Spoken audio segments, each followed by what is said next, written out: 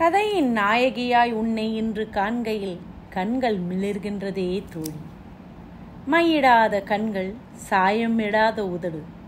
ஒப்பனையில்லாத உன்முகம் கன்னத்தில் குழிவிட நீ சிரிக்கும் அழகில் அத்தனை ஒப்பனையும் பெற்றது போல் ஒளிர்கின்றதே என் தோழி. உன்னுடன் இணையாக இருக்கும் உன்னவருக்கா இன்று வயது அறுபது? உன்னோடு அன்பான இந்த முப்பது வருட பயணம் அவரது வயதை வெறும் நாற்பதாகவே காட்டுகிறது. கைவினையில் கை தேர்ந்தவள் நீ என்பதை நான் அறிவேன். இருந்தும் வண்ண நிறங்களில் உன் கை வண்ணத்தில் தொங்கிய தோரணங்கள் தோரணங்கள் கண்ணுக்கு விருந்தாகி நின்றதடி தோழி. கண்ணுக்கு மட்டும் போதுமா?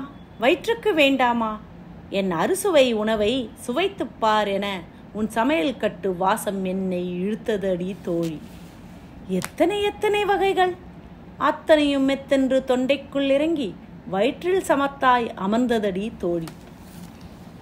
போதும் போதும் என்று கூறியும் சாப்பிடுங்க ஆச்சி என்று அன்பான சொல் நாலு திசையிலும் எதிரொலித்து அடடா விருந்தோம்பல் என்றால் இதுதான் என்று உறக்க பறைசாற்றியதடி தோழி.